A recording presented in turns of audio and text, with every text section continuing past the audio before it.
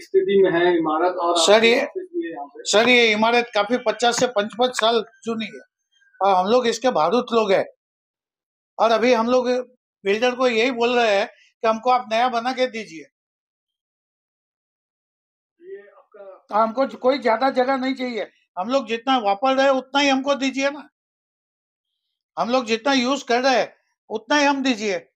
हम इसका बीएमसी का टैक्स सब हम लोग ही भर रहे। हैं सर क्या क्या डैमेज हुआ सर? सर ये पूरा टूट आप दे, आप देख लीजिए सब पूरा सब टूटा हुआ है।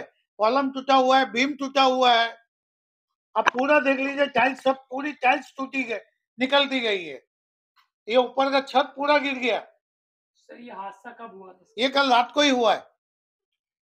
ये हादसे पर किसके ऊपर ज़िम्मेदारी ठहराना था? अभी हम ज़िम्मेदारी किस पे थक ये तो अभी नेचुरल कैलिमिटीज है।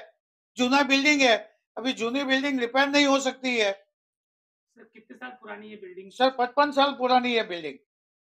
आपकी किसी से बात हुई थी सर सर अभी कल ही हुआ है अभी किसी से बात नहीं हुई। ये कल ही हम कल रात को ही इंसिडेंट हुआ है। और अभी मैं अभी ये कर रहा हूँ सब। हमने कानकिया जी को भी फ़ोन करके बोला है उसको फ़ोटो भी भेजा है कि ये देखो ये सब हो गया है। सर कितने फ्लोर की बिल्डिंग है? ये तीन माले की बिल्डिंग है सर। बिल्डिंग का नाम क्या है सर?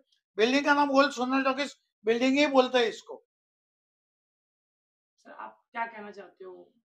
सर अभी इसके अंदर हमने बिल्डर को बोल रहे हैं कि जो जगह वापर है पचपन साल है पचपन साल हो गया जूना बिल्डिंग है आप इसको नया बनाओ हम लोग जितना जगह वापर रहे उतना ही हमको जगह दीजिए हमको कोई ज़्यादा नहीं चाहिए और हमको ओनरशिप बना के दे दीजिए। नाम बता दीजिए सर। इसके बिल्डर है रसेश कानकिया जी। आपका नाम क्या मेरा नाम कुंदन शाह और ये फ़िलहाल और ये सीओडी के रिजर्वेशन में आता है। अभी पचपन साल पहले इसमें सीओडी नहीं लागू होता था मगर अभी कैसे ये सीओडी लागू हो गया ये पता नहीं चलता है। अभी इतनी जूनी बिल्डिंग है अगर रिपेयर नहीं होगा बनाएँगे नहीं तो आदमी लोग जाएँगे कहाँ पे? सर किसी से बात हुई आपकी सर? सर अभी ये कल इंसिडेंस कल ही हुआ है। ये सीओडी